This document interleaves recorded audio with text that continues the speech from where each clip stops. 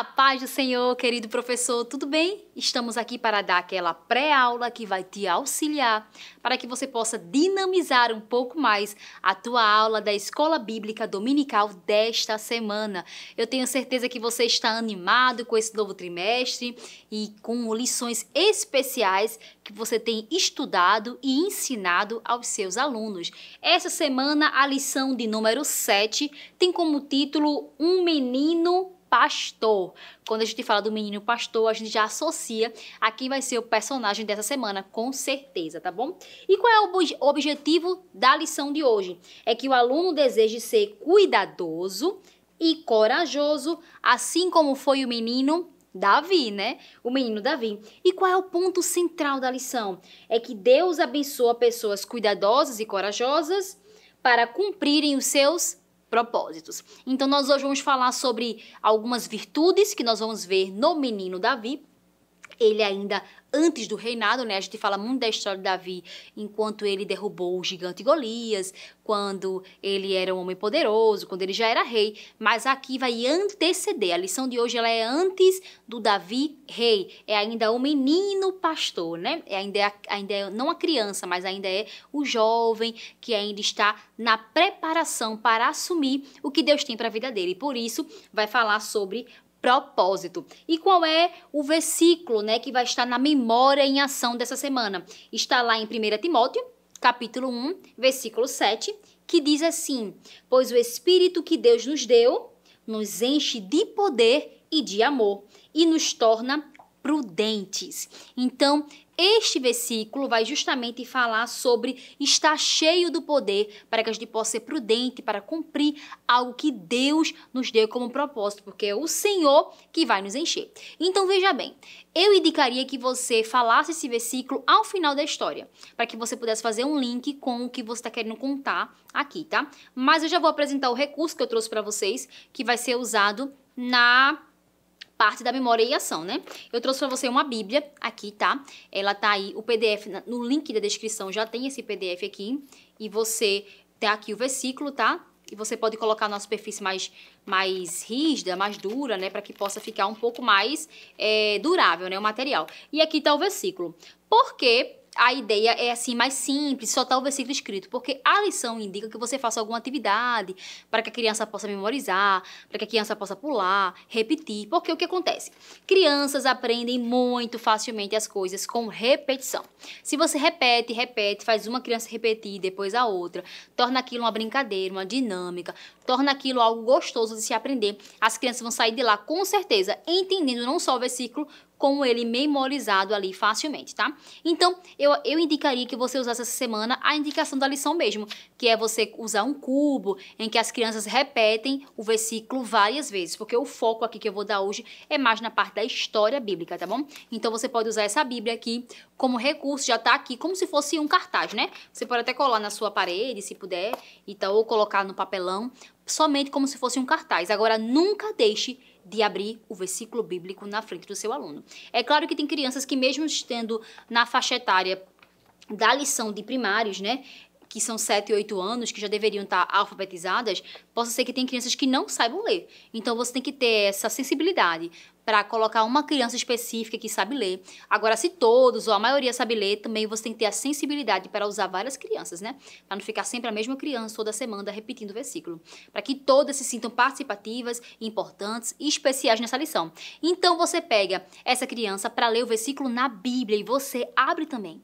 O, o, professor, ele é o exemplo principal para aquele aluno. Se você, durante a aula do versículo que você pediu para a criança abrir, você está lá olhando o telefone, olhando para o além, olhando para o nada, não atento àquilo ali, ou então não se preocupando com aqueles que estão tendo dificuldade de abrir, você não está sendo o exemplo para aquela criança. Então, pegue a sua Bíblia, abra a sua Bíblia, mostre o versículo, sempre recapitula alguma coisa sobre a Bíblia, no sentido de que, eita, esse livro do 1 Timóteo está onde? Está no Novo ou está no Velho Testamento? Eita, se disser, ele está no Novo. E quantos livros tem no Novo Testamento? Tem 27 ou tem 26? De forma que eles vão aprendendo aquilo ali empiricamente. É algo que vai ficar, vai ficar é, fixo na mente deles. Todas as divisões da Bíblia. Você pode depois, se eles já souberem muito sobre a, a divisão principal do Antigo e do Novo, você pode também já usar o recurso de quem foi que escreveu essa carta? Para quem foi essa carta? Quem foi o jovem Timóteo, né? Paulo escreveu essa carta, mas escreveu quantas outras? Quantos outros livros foram cartas de Paulo endereçadas a igrejas e a pessoas? Então você já pode ir incrementando, sabe? É sempre importante. Não subestime as crianças. Elas têm uma capacidade de absorção muito grande. Elas são como esponjas, né? Então elas podem absorver muito aquilo que você diz. E se você repete aquilo semanalmente, elas aprendem com certeza. Então, eu acredito que a questão do versículo seja melhor para o final da história, tá bom? E eu trouxe para você aqui esses recursos das sacolas da história. As sacolas elas vão sendo abertas ou mostradas, né? Aqui elas já estão abertas. Mas você pode ter a opção de fechar aqui, tá? E você ir abrindo junto com elas. E abrindo é, sacola por sacola, à medida que você vai contando e você vai dizendo o desenrolar da história, tá? Deixa eu conferir se você começa por aqui. Isso. Então, são quatro letras e aqui eu quis formar um acróstico. Você deve saber que acróstico é você pegar a primeira letra e daquela primeira letra formar uma palavra, né? E a partir dessa palavra a gente vai desenrolar e vai começar a contar a história da semana. Por que eu trouxe essa forma diferente de abordar? Porque você sabe que essa história talvez seja muito conhecida das crianças. Então, sempre que tem uma história muito conhecida, a abordagem é bom que seja diferente para que aquilo não fique cansativo, enfadonho para ela e ela possa terminar se desestimulando. Ah, tia, eu já sei a história de Davi. Eu já sei que ele foi pastor. Então, peraí, calma. Então, você, antes de falar sobre de quem se vai falar, você vai abrindo a sacola. É claro que já está aqui, né, formando D-A-V-I, né, já está formando a palavra.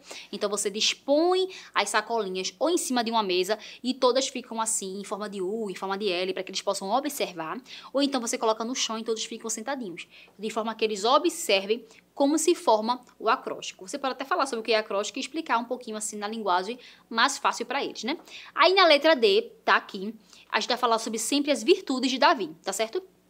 Já aqui tá falando a lição que o tema central é que ele era corajoso e cuidadoso, então nós vamos falar de outras virtudes além dessas, tá certo?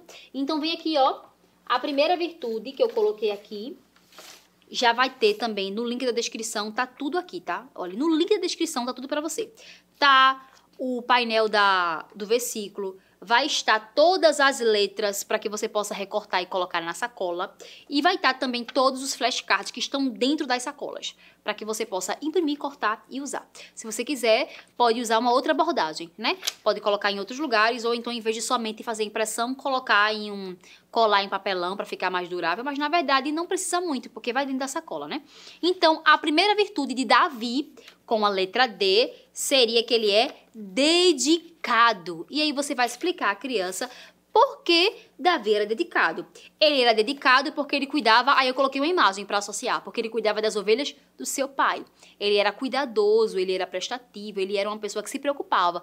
E você pode, a partir desta história da dele ser pastor e de cuidar das ovelhas do seu pai, você pode falar sobre o cuidado com as ovelhas. Se você tiver condições, se tiver uma TV na sua sala, ou se tiver um notebook que você consiga mostrar, você pode mostrar como são as ovelhas, como são os pastores. As crianças gostam muito de coisas de curiosidade, sabe?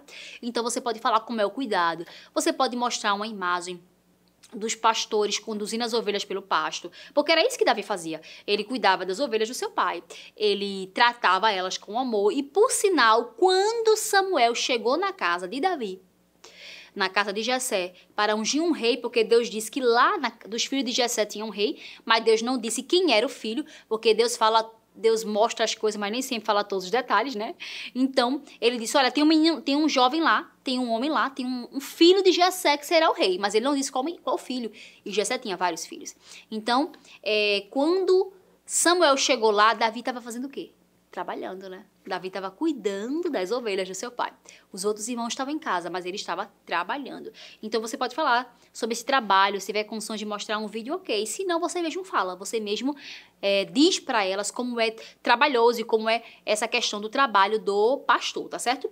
E você pode falar que por isso que ele era dedicado. E aí, aqui também no dedicado, eu coloquei uma outra imagem, que é o do azeite, que é para simbolizar e você já fazer o link da história de que Samuel foi ungir Davi na casa do seu pai Jessé e ele usou o quê? Um azeite, né? Você sabe que era uma um costume da época, derramar azeite sobre a cabeça daquele que seria ungido pelo Senhor. Então ele foi ungido na presença dos seus irmãos para ser que rei de Israel, tá? Mas ainda não vamos falar da história dele ser rei, estamos falando da, da, de antes disso, tá certo? Aí você vai abrir a segunda sacola, que é a letra A, e você vai dizer que, dizer que ele era agradável. Por que ele era agradável? Porque ele tocava a harpa, olha, ele era habilidoso, né? Eu queria que tivesse o H, mas não tinha como colocar habilidoso, né? É, ele era habilidoso, ele sabia tocar harpa, ele era agradável. Por que eu botei agradável? Porque quando Saul, que era, tá aqui também o flashcard, era rei de Israel, ele era atormentado por um espírito mau. É, os servos de Saul indicaram que chamassem um menino, chamassem uma pessoa que soubesse tocar, porque quando tocava o espírito mal se acalmava. Então, esse jovem que foi chamado e convidado para a casa de Saul, para a casa do rei Saul, foi justamente Davi. Porque além dele ser dedicado, ele era habilidoso, ele era uma pessoa agradável, ele foi convidado lá e ele ficou na casa do rei e ele tocava a harpa. E à medida que ele tocava, o espírito mal se acalmava. E era agradável estar com Davi. Por quê? Porque ele fazia com que as coisas ficassem calmas e em paz. Então você vai contando a história a segunda sacola vai falar que Davi ele era um homem valente, porque quando ele cuidava das ovelhas do seu pai, ele matou um urso e matou um leão, né, para defender as ovelhas do seu pai, defender algo que ele que ele tinha a obrigação de cuidar. Então ele aqui ele era valente, você vai contando a história, vai desenrolando a história. E por último, a letra I é que ele era íntegro. Por quê? Porque quando Davi foi convidado para a casa de Saul, ele era um menino tão agradável, ele era tão bom, ele tinha um coração tão bom, ele era íntegro em Deus, ele é uma pessoa boa, que ele foi convidado para ficar na casa do rei.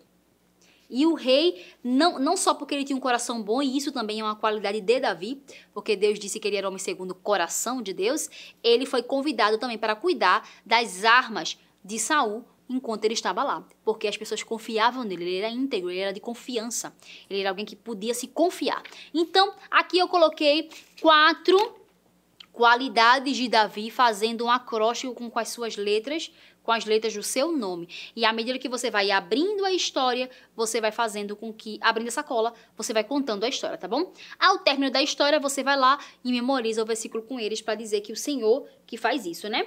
E aí, eu trouxe para você essa sugestão aqui, ó, de uma harpa. Aqui tá feita de EVA, né? Mas também podia ser feito de papelão, né? E pintado de marrom.